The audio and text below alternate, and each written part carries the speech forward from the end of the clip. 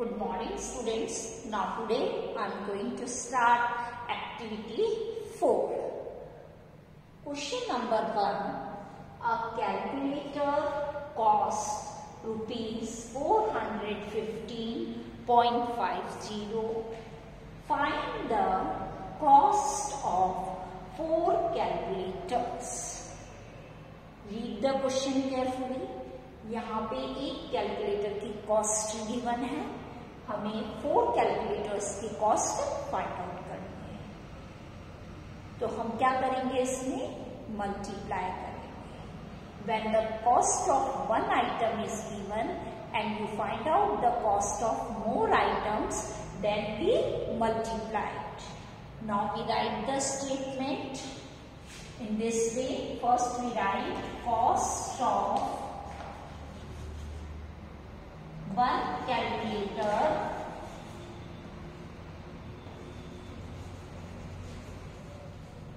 is equals to rupees 415.5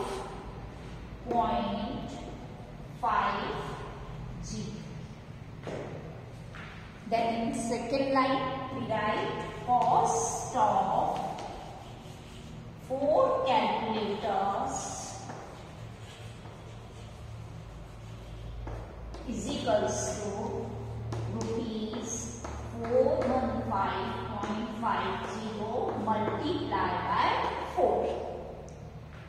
Now we show the working here. We write 415.50 multiplied by 4. अब हम four से multiply करेंगे, जैसे simple multiplication करते हैं, पहले वैसे ही करेंगे।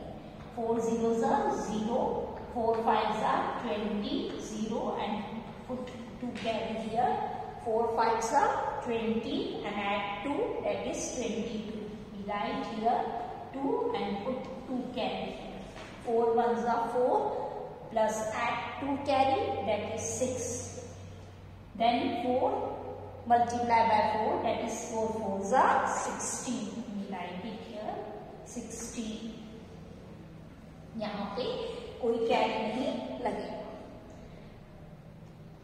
अब आप देखें यहाँ पे टू डिजिट से पहले क्या है? डेसिमल पॉइंट है। तो हम जो प्रोडक्ट करने के बाद जो आंसर आया, उसमें भी हम यहाँ से राइट से देखेंगे। टू डिजिट पहले क्या लगा देंगे? डेसिमल पॉइंट लगा Now we write rupees one hundred one thousand six hundred sixty-two point zero zero. Point के बाद zero zero है. It means no value. So we can write only rupees one six six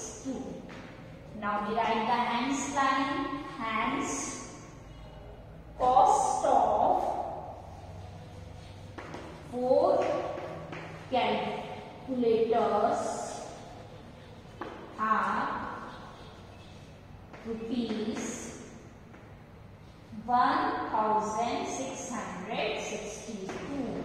This is your answer. In this way, we can solve the statement problem. Now, student, you see the question number two. That is, Rajat earns rupees 1175.50 paisa every week. How much will he earn in one month? Now here you first see that here is given in week means in every week this much amount he earns and here you see that you calculate in months that in one month, how much amount he. यहाँ पे ध्यान से आप question को देखेंगे तो आप देखेंगे यहाँ वीक दिया है और यहाँ पर हमें मंथ में कैलकुलेट करना है। तो हमें इनके बीच का रिलेशन पता होना चाहिए। तो first we know the relation what the relation between week and month we know that in one month is equals to 4 weeks ये हमको पता है कि एक मंथ में चार वीक्स होते हैं। Sometimes in one month five weeks also comes but in our calculation we can take only four weeks calculation में हम सिर्फ़ फोर वीक्स ही लेते हैं, इसलिए I write it here in one month is equals to four weeks so you should remember this relation Now, easily we calculated our answer, that in weeks. अब यहाँ पे हम देखेंगे, हमें वीक में दिया हुआ है। तो यहाँ पे भी हम जो हमारा वन मंथ पूछा है मतलब हम किसके लिए कैलकुलेट कर देंगे फोर वीक्स के लिए। क्योंकि वन मंथ के इक्वल कितना हो गया हमारा फोर वीक्स तो दोनों यूनिट सेम हो जाएगी। यहाँ पे भी वीक में गिवन है और इस मंथ को भी हमने वीक में कन्वर्ट कर now we can solve it we write Rajat the statement in this way Rajat earns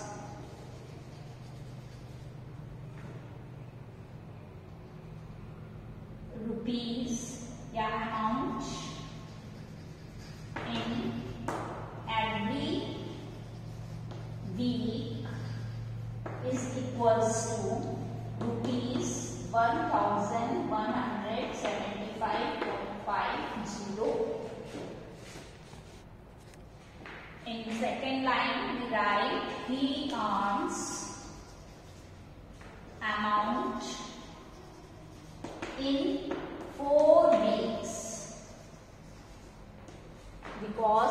place of one month we write it four weeks हमने क्या लिख दिया यहाँ पर four weeks that is equals to rupees one one seven five point five zero multiply by four अब हम किससे multiply करेंगे इसको फोर से now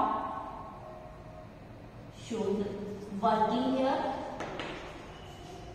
that is one one seven five point five zero multiply by four हम इसको four से multiply करें फोर ज़ीरो जा ज़ीरो फोर फाइव जा twenty zero two carry here four five जा twenty plus add two that is twenty two then again write two carry here four seven जा twenty eight plus two that is thirty zero and two three carry here.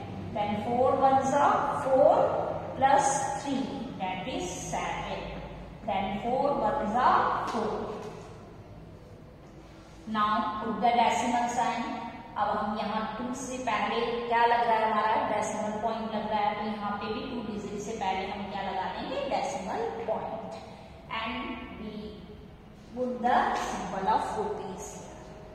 Then we write rupees Four seven zero two. Point zero zero, and right hands line hands. He earned how much money he earns in one month? It means we write 4 rupees 4702 will he earns in four weeks. This much amount will he earns in four weeks. Now question number three. My mother paid rupees 962 for four shirts. What is the cost of each shirt? Now we write the statement. First we write it. यहाँ पे क्या बताया है बच्चों paid rupees nine hundred sixty two for four shirts four shirts के लिए इतना amount पे। अब हमको क्या फाइंड आउट करना है? कॉस्ट ऑफ़ ईच शर्ट का। मीन्स की each shirt means one shirt का कॉस्ट फाइंड आउट करना है। तो हम क्या करेंगे यहाँ पर? डिवाइड करेंगे। Because more amount is given the and we find out the cost of one item then we divide First, we now we write the statement in this way that is cost of four shirts is equals to rupees 962. Then write cost of one shirt we write cost of each shirt is equals to rupees 962 divided by 4 अब हम यहाँ क्या करेंगे? इसे divide करेंगे। और किससे करेंगे? Now divide it here 962 and divide it here 4 divide करना सबको आता है। जैसे हम सिंपल डिवाइड करते हैं, वैसे ही यहाँ भी डिवाइड करना है। सिंगल डिजिट गिवन है तो अब देखेंगे पहले सिंगल डिजिट में नाइन, ये इससे बड़ा है।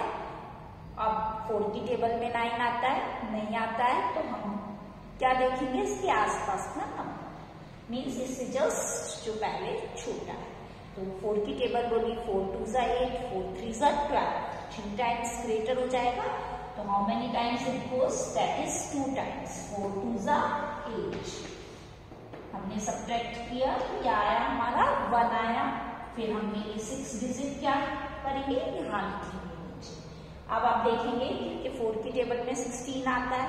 Yes how many times it goes that is four times four four ज़ा सिक्सटीन फिर से हमने सब्ट्रैक्ट किया। ज़ीरो आ गया। फिर ये टू हमने यहाँ पे लिखा। अब हम क्या करेंगे? इसमें देखेंगे कि फोर की टेबल में टू आता है, नहीं आता है फोर की टेबल में टू तो फोर ज़ीरो सा ज़ीरो तो यहाँ पे क्या आ जाएगा? हमारा टू आ जाएगा. तो इसमें हमारा रिमाइंडर क्या बच गया? टू अब हम यहाँ देखेंगे कि हमारा ये कितना बचा है यहाँ पे? टू बचा. अब हम इसको आगे और हमें करना है। तो यहाँ पे कोई भी डिजिट नहीं बची तो हम यहाँ पर क्या लगा देंगे? पॉइंट लगा देंगे और यहाँ पे ज़ीरो नोट कर लेंगे। अब हमारा क्या आएगा? हम इसको आगे कैसे कर सकते हैं? अब हम कितने टाइम्स जाएगा इसमें ट्वेंटी आया। मीन्स कितने टाइम्स गया फोर फाइव जा ट्वेंटी अब हमने क्या कर दिया इसको? सब्ट्रैक्ट कर दिया। तो क्या आया? हमारा zero